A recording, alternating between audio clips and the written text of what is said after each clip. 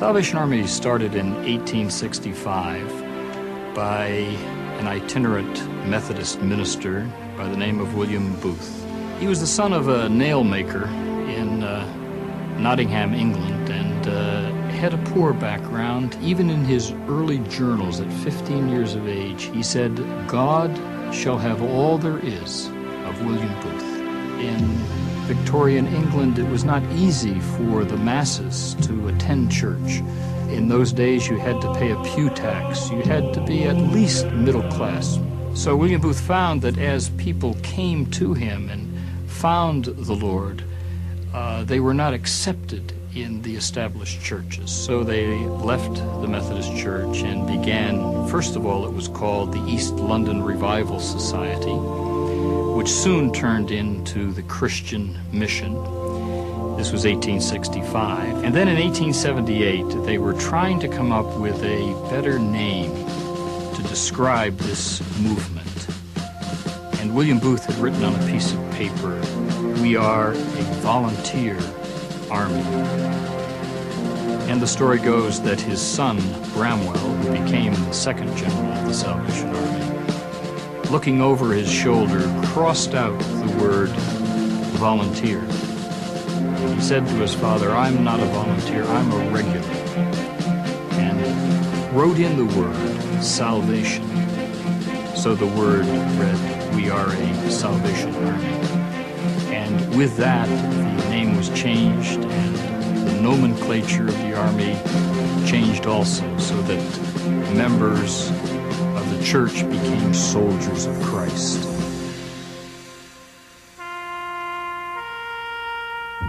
He soon found that you can't speak to someone about their soul if they're hungry, if they don't have shelter, if they need clothing, and hence uh, the Salvation Army's social service uh, program that is well known throughout the world now uh, began as a means to help people and then share with them the good news of the gospel. While women weep, as they do now, I'll fight. While little children go hungry, as they do now, I'll fight. While men go to prison, in and out, in and out, I'll fight. While there is a drunkard left, while there is a, a poor lost girl upon the streets, while there remains one dark soul without the light of God, I'll fight. I'll fight to the very end.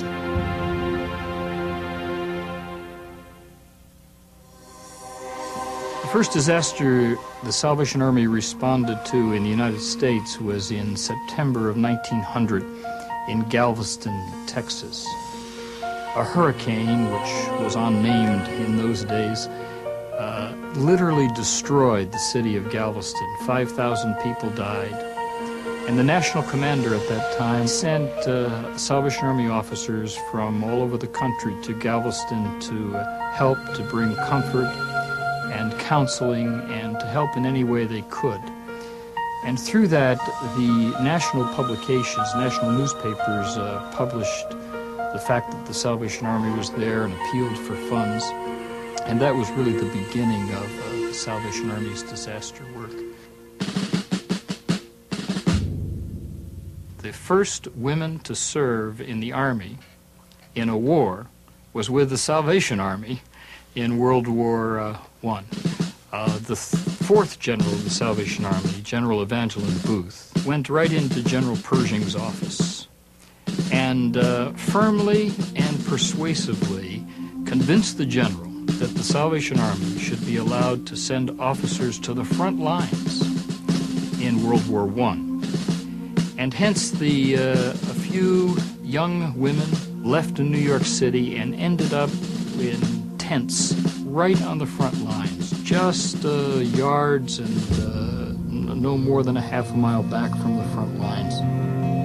And there they ministered to the uh, to the men fighting, uh, giving them comfort and prayer, reading scripture, and most importantly of all, serving donuts. So they became known as the Donut Girls, and posters went up throughout the United States urging people to support uh, the Donut Girls. who were serving on the front lines. And in a, in a real way, that transformed the Salvation Army's image and work in the United States. My parents were brought up in the Salvation Army, and my father, after the war, had uh, gotten his first big job with the Salvation Army. You'll hear stories over and over how the soldiers that were in the war over in Europe getting off the trains and they hadn't eaten or hadn't had a cup of coffee and the Salvation Army was giving it to free. I've heard that a thousand times. Well, the styles change. The uh, Army uh, volunteers and officers, soldiers, and volunteers today look quite different than the donut girls of World War I. And what we serve may be a little different. But basically, it comes from the same motivation, and that is for no other purpose but to be there in a time of crisis, to help people in the name of Christ without any strings attached. Just simply to be there through the love of God to uh, help people in His name. On the morning of September 11th, uh, Commissioner Nolan and I and our team from territorial headquarters went down to review the disaster scene. When we arrived, a fireman had just come out of the pit. He looked at me and he said, Salvation Army, do you have some water? And I said, I'll get you some. And he said, Get some for my buddy here. He needs it more than I do. So I ran around to our uh, canteen and got two bottles of water, ran back, and just caught them in time. They were going back in without the water. As a Christian, uh, I believe that nothing happens by accident.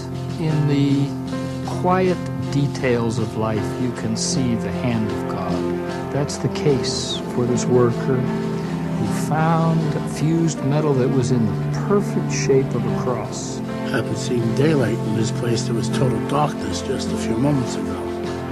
And I, lo and behold, I see four crosses depicting the outline of Calvary in this whole atrium. And Christ's cross was right there up front.